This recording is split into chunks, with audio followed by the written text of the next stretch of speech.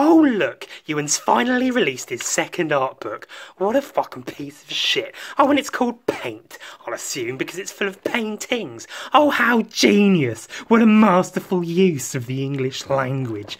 Puh.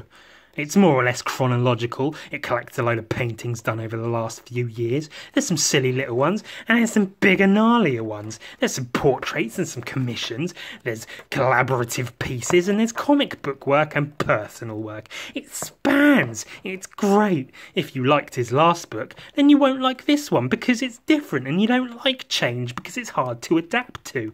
But it's got the word fuck in it, and that's funny, and it's available now. So go to the link in my Instagram profile and go and buy a copy.